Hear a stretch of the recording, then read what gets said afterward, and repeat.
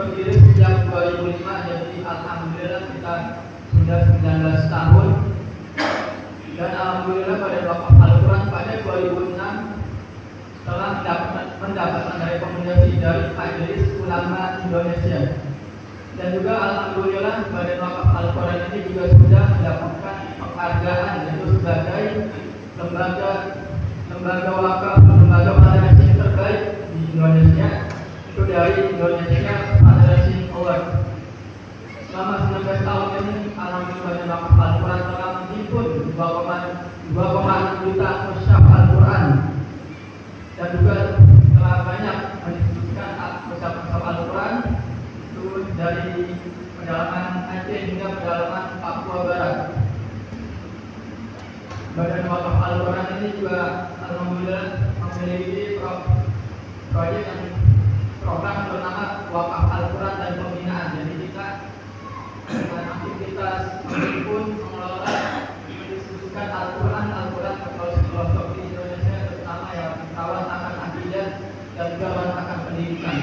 Tetapi kita juga tidak hanya sebatas diskusi saja, kepemimpinan saja, tetapi juga kita melakukan pembinaan kepada masyarakat-masyarakat pedalaman atau muslimin yang ada di pedalaman yang ada itu bekerja sama dengan ustaz-ustaz atau dari setempat untuk mengajarkan Al-Quran, untuk membina masyarakat di pedalaman, mengajarkan Al-Quran, mengaji, membaca mengenai ajaran-ajaran Islam lainnya kepada masyarakat juga kaum yang ada di daerah-daerah pedalaman.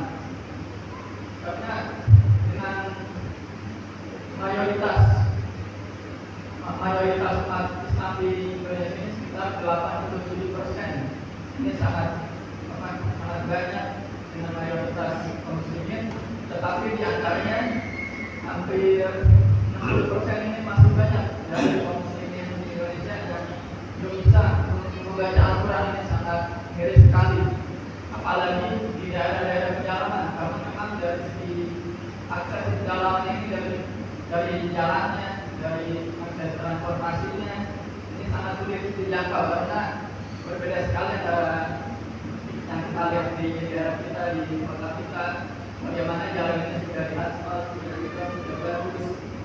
Dan juga Al-Quran yang kita jumpai di masjid-masjid sekolah-sekolah masjid sekolah kaki di bawah kita kita banyak menjumpai Al-Quran bahkan Al-Qurannya yang juga masih bagus-bagus. Belum lagi dari segi dari dari ustaz-ustaz yang di sekitaran kita alhamdulillah banyak ustaz-ustaz yang kita jumpai. Yang kita datangi saja kalau kita mau. Mau pergi ngaji mau pergi belajar Al-Quran. Ini sangat berbalik berbalik sekali dengan kondisi yang terdapat di pedalaman dengan saudara-saudara kita dari segi tadi aksesnya transportasi yang sangat sulit. Juga Al-Quran Al-Quran di sana sudah alamatnya kampungnya sudah tidak lengkap lagi sudah rusak sudah sobek lagi dari pusat-pusat dan juga daerah-daerah yang sangat sangat sedikit dari segi jumlahnya. Belum lagi di masyarakat pemusiman dan masyarakat pedalaman ini dari segi ekonominya ini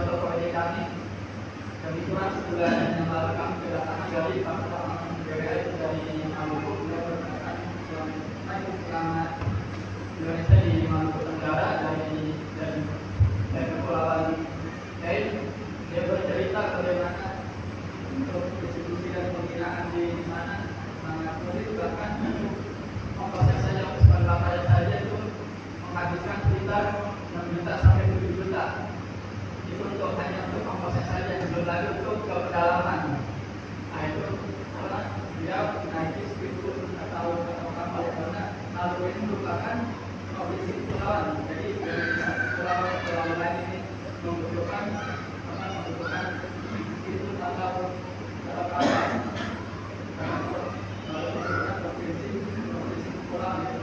bisa beda beda ini berbeda berbeda dengan kita di Pulau Jawa ini dari provinsi dari provinsi di Pulau Jawa ini kan jarak jarak. Jadi untuk mengat untuk perjalanan kendaraan ini kendaraan ini bisa bisa dilalui bisa dilalui dengan walaupun berbeda provinsi. Nah ini kalau di Maluku kalau ini provinsi Pulau jadi lewati darat ini jadi bisa jadi harus menggunakan menggunakan kapal laut menggunakan kapal laut untuk untuk mendistribusikan Al-Quran ke pedalaman pedalaman kondisi di, di sana sangat sulit karena sulit dijangkau karena yang menjadi prioritas dari Balai Wakaf Al-Quran untuk itu kami dari Balai Wakaf Al-Quran ingin mengajak kepada pada para jamaah agar kita sama-sama membantu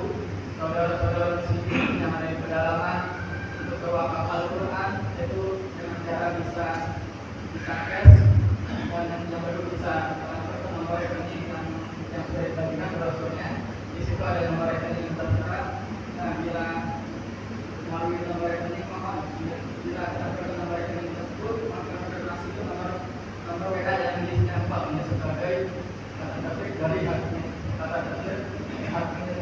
kita ke Balai Wakaf Al-Quran.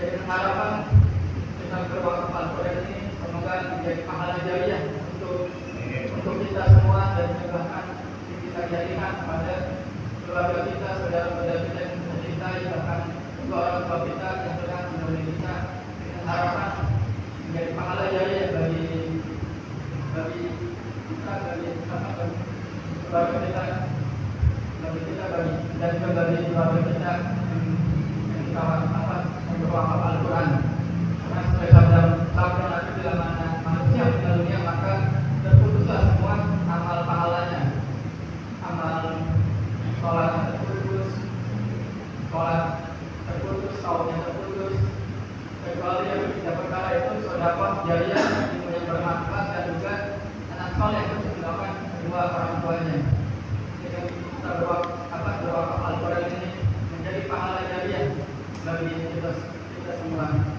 Mungkin itu saja dapat kami sampaikan. Sekali lagi kami mengucapkan banyak terima kasih kepada kepada DKM, pengurus masjid dan juga kepada para jamaah.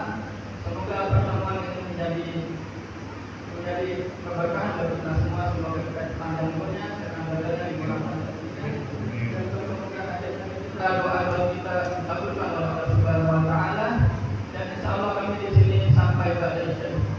kami di